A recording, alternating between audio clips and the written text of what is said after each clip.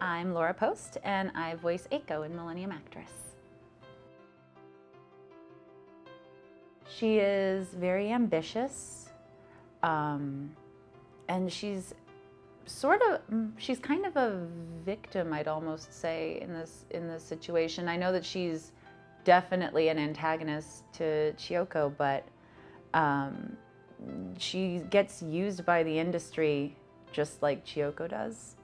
So there's sort of that aspect to her personality too. Um, she's proud and she's elegant and yeah, she's she's uh, she has a lot of things she wants out of her life. I feel like. What I find most interesting about Eiko is is her overall character arc, and one of the things I loved about getting to play Eiko was getting to follow her through the be, stay as her actress through the whole movie, uh, voicing her from when we first meet her until her last scene. Um, she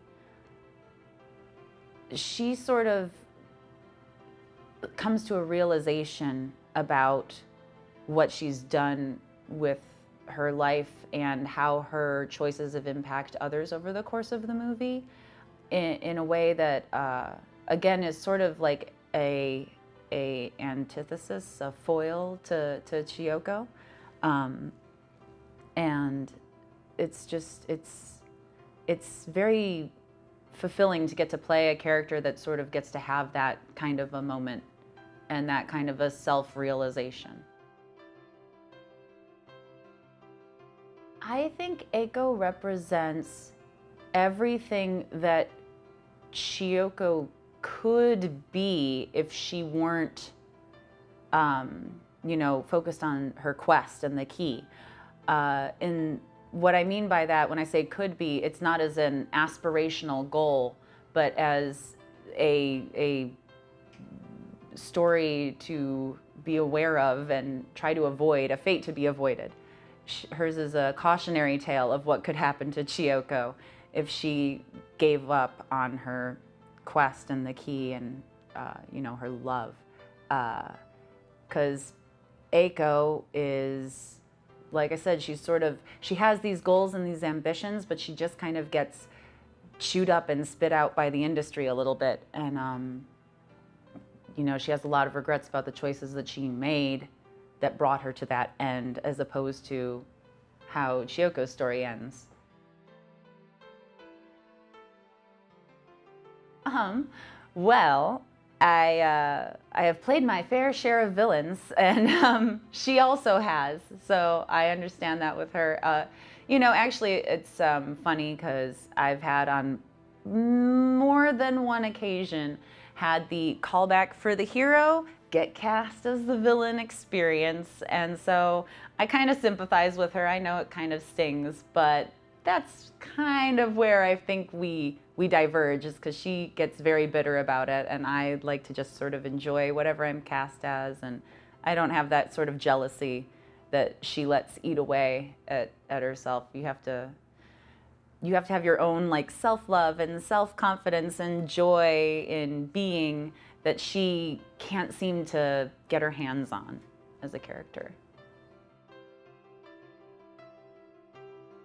Yeah, oh, it's so, oh, I love Millennium Actress. It's so beautiful and it's, I mean, I think the message of the whole movie is really powerful. Um, I, I believe in it myself. Uh, the the idea that you know you, has her quest. And that's an important part of of her but she also has that sort of like confidence in herself. Like she it when when she's on her quest she is confident and um, whole as a person when she has that key and she's on that quest. It isn't until she starts to sort of veer off that path that she loses that sense of self, I think. And I, I the movie itself is just, it's a beautiful journey. I, I love the whole thing, how it's told and everything. I love what I love about Millennium Actress is how you can't tell what's real and what's movie. Like the lines are all blurred, and it's sort of interesting because it's like you're viewing Chiyoko through a lens, which she has been viewed through a multitude of different lenses her whole life. And so instead of showing any one absolute truth, it kind of is showing, you know, every different character's perception of reality through all these different lenses. And it's just really fun and interesting. And it just sort of keeps you really engaged and, and opens up this sort of sense of wonder, I, would almost say, uh, in regards to her story. For me, I don't think I'd want to know. I kind of the thing the thing about the most important thing in the world is that it changes as we grow as people. So like 15-year-old Laura's thing would be different than mine now. And I feel like if you know what it is, you kind of don't if you've gotten like the most important thing, then uh, what's the point in chasing less important things? So I feel like I would just want to kind of like Chiyoko, I'd kind of just want to keep the key and hang on to that and then maybe find out like the very, very, very, very end of my life. if I knew when that was, that's, I think that would be the ideal way to do it um, for me. and for Eiko? For Eiko, I think that the box, well, I say a box, but you know, I don't know, I just imagine a key to a box um, with an important thing in it. Eiko just wants love, and I feel like through her her story in the movie, she's she's looking for love from audiences and directors and fans and all these external sources, but I think what she needs is for her to love herself but I don't know if that's what she like if the box has what she wants it would probably be adoration from fans but i don't know if she'd be happy with what she wants. What she needs is to love herself. So kind of a dual most important thing there. Ooh um probably her final scene is the most significant just because it is the the culmination of everything uh, that her character arc has been leading towards um, she's just so tired in that scene, you know? And it's, it's a lifetime of struggling and scheming and trying to get this thing that she wants that she just can't quite reach. And it's just that, that weariness of finally the, the bitterness and the jealousy and the struggle just wearing down on her until she finally is essentially dropping it all, just dropping the front, dropping everything. She can't hold it up anymore and she's done. And I think that's a really powerful scene for her. I really enjoyed voicing that scene. Um, I think that's probably my favorite scene for Eiko. Ah, I think that the reason, I think it's, I mean, I think it's a little of both. I think on the one hand, she, she does react to jealousy in a very, in my opinion, uh, self, what's the, a self-hurting kind of way. Like the, she's not, that, that jealousy and that bitterness and that anger that she holds on to is just eroding at her own heart and soul and that just avalanches, you know, into this explosion. it avalanches into an explosion.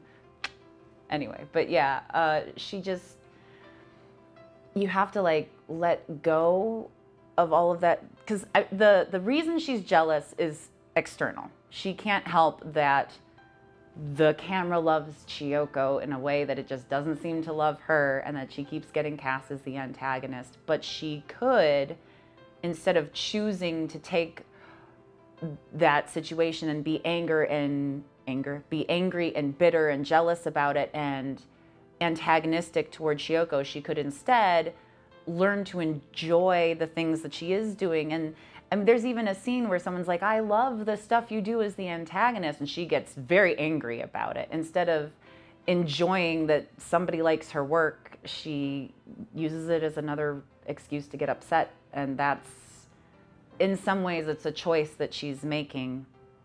So it's sort of both because uh, of course ideally in her perfect world she'd just be Chiyoko and get the lead in everything and be the romantic lead and the girl everybody wants to like save and love and date and whatever. But that's not what life has handed to her. So she could try to make the best of it, but she chooses to keep fighting against it and trying to get what Chiyoko has instead of enjoying what she has. My thoughts on Chiyoko's last words are that they are the truest like sentiments out there. The the whole point of life is the journey and the chase and the idea that um, you know reaching him isn't necessarily the goal. It's it's the chase to get there.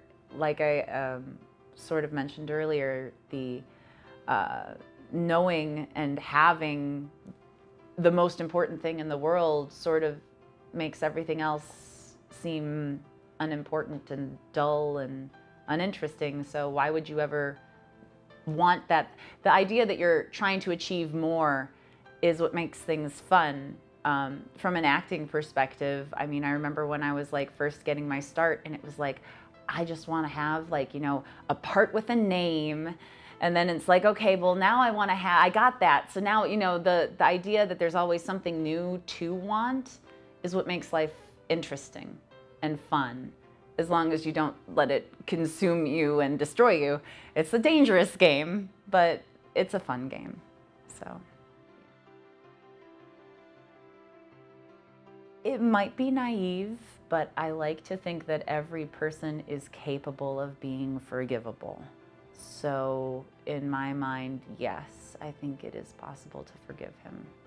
But it sort of depends on the person. I mean, if I were Chiyoko, it would be very hard, but I'd like to think that I could. But I guess I wouldn't know if I was really in that until I was really in that situation, which hopefully I never am. oh, I don't think Eiko would have any forgiveness for him. I mean, I'd like to think that she could, especially if we get to older Eiko. Maybe older Eiko could, but young Eiko, definitely no forgiveness to be had. so I feel that the witch's curse is actually sort of a, a combination of Eiko and Otaki. That's his name, right? The, the, the son that yeah yeah. Because the witch in the story in the context of the movie like betray tricks her and betrays her and the combination of Eiko who's like I hate you so much I can't bear it and Otaki who's like I love you so much I can't bear it also trick Chiyoko. So it's sort of foreshadowing for that later. So that's sort of what I think that is as far as that that sentiment of like I think it's the two of them like I, I hate you so much I can't bear it and I love you so much I can't bear it consp- working together to destroy Chiyoko's spirit. That's that's my thought at least. I'm sure other people have other opinions. I think Eiko's curse is just like um, Chiyoko's constantly chasing for eternity, it feels like. Uh, Eiko is constantly working against Chiyoko. Like, she can't escape trying to destroy Chiyoko, both in films and in her life. It's that it's that choice that she's made to to be jealous and not be happy and uh, to try and destroy what she perceives as being in her way. And she's just doomed to do that for seemingly all eternity until she finally can come to a realization that what Chiyoko has isn't what she wants. Kind of like how Chiyoko has to come to the re- realization that the chase is what she's wanted all along. Eiko needs to come to the realization that her chase is pointless and that she needs to just appreciate what she has instead of trying to destroy the person that has what she thinks she wants. I think it's very bittersweet because she realizes so late in the game for her what she what she has done and what she did wrong and what all the time that she's wasted being angry and jealous and bitter. But I also think that it's it's good that she I'm glad that she comes to that realization and sort of is able to end that cycle even if only, you know, at the only at the tail end of things, but at least she's able to finally put an end to it and hopefully start to appreciate herself a little bit more and not keep looking for external sources of validation and love and adoration. So, yeah. Um, yes, it's uh, when you say classic movie, everyone like thinks of like black and white movies and things like Casablanca and stuff. But my classic movie is The Little Mermaid. Disney's The Little Mermaid. Um, it both played a huge part in me wanting to be a voice actor, but also uh, as far as my childhood goes, I was I was a pretty overweight kid, and I got bullied and picked on a lot as a kid. And um, when I saw The Little Mermaid as a kid, I, uh, I saw a story about it, it's funny because people have a different interpretation than I do, but when I saw it, I, I saw the story of this you know handsome prince that falls in love with this person's voice and doesn't know what she looks like at all. And then she like she gets onto land and she's like i'll just he'll see me and he'll love me but he's so in love with this girl's voice that it doesn't matter what this beautiful girl looks like at all. It's not the girl he fell in love with. And it's not until she gets her voice back that he is like, oh, it's it's her. I mean, he realizes like right before she gets her voice back because he was gonna go up to the castle and whatever, and then magic happens and stuff. But the point is that it made me feel like, oh, look, someone could theoretically actually love me regardless of what I look like because he fell in love with someone without knowing what they looked like and this was before the internet so there's not that you know idea out there but um, yeah so it really like brought me like a lot of comfort as a kid and also got me really interested in music and thereby also acting and my voice and and I knew that I wanted to it was a huge part of me wanting to be a voice actress was that like I loved that movie so much, and I wanted to essentially voice Ariel. Of course, she already has a voice, but that was like one of my six year old brain's goals. yes, well, obviously, I admired Jodi Benson because she was the voice of The Little Mermaid. And I know, like, I, I, really liked a lot of voice actors as a kid, which most kids didn't know the actors behind the voices, but um, I also was a huge fan of Rob Paulsen who was Raphael from the original Ninja Turtles, and he was also Mighty Max, and he was also Yakko from Animaniacs. Big fan of his work, and another big inspiration for me wanting to be a voice actor. And then I also was a big fan of Leonardo DiCaprio. And not everyone's like, I know, everyone's thinking Titanic, of course. She was like, oh, he's such a dreamboat. But actually, I wasn't like, I didn't have a crush on him. I was just like, he's such a good actor because I really liked him in Romeo and Juliet. And so I was like, he's so good. And he was one of those few actors I would like go to see the movies that he was doing, even if I wasn't necessarily interested in the movie, because I just really liked to watch him work. And that kind of still is the case now. I just really like his work, generally speaking. There, there are movies that I don't like, but you know, they happen. Um, but yeah, so that's for a normal on camera actor, I guess, if those are important or whatever.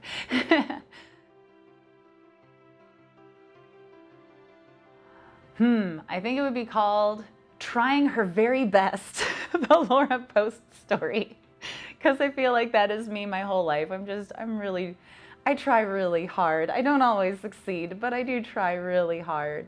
Either that or, um, maybe faith, trust, faith, trust, and pixie dust because I really love Peter Pan a lot, and I I try to have faith in myself and trust in other people, and then you know pixie dust is just a little extra bit of magic thrown in for fun.